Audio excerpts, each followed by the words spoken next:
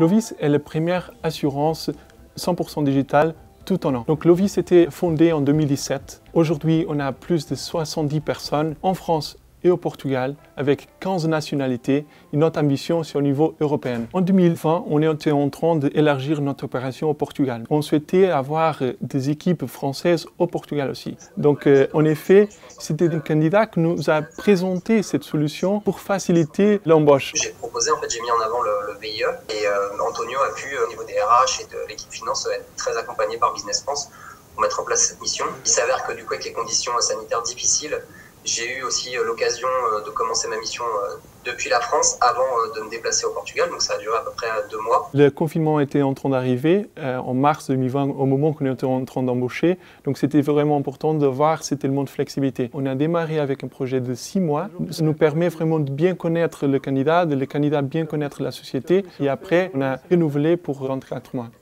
On est très satisfait. En effet, le vieux, il a participer dans un projet stratégique de l'entreprise. On vient d'annoncer un projet avec Ma French Bank du groupe La Poste.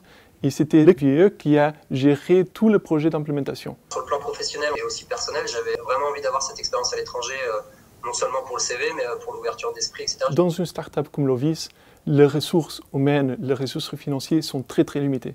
Donc chaque ressource qu'on peut euh, avoir accès vraiment peut changer les opportunités et les probabilités de réussite.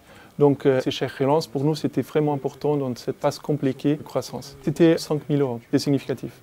Le programme VIE, c'est déjà très bien fait pour euh, des startups comme nous, mais je pense que ces chèques relance, c'était vraiment un bonus premièrement. Et ça a aussi ouvert la porte pour avoir de nouvelles discussions, notamment sur de nouvelles opportunités de VIE, mais aussi d'autres offres, d'autres services que Business France a pour nous aider, notamment à l'international, des programmes de support pour trouver de nouveaux marchés, élargir notre business dehors de la France. Premièrement, c'est très facile. En tant que directeur financier, il a plein de programmes vous pouvez avoir accès qui sont très compliqués à gérer. Ce n'est pas le cas de vieux, c'est très simple. Deuxième, c'est le support Business France. C'est un support des équipes, un support administratif, mais aussi un support financier qu'il faut prendre en compte.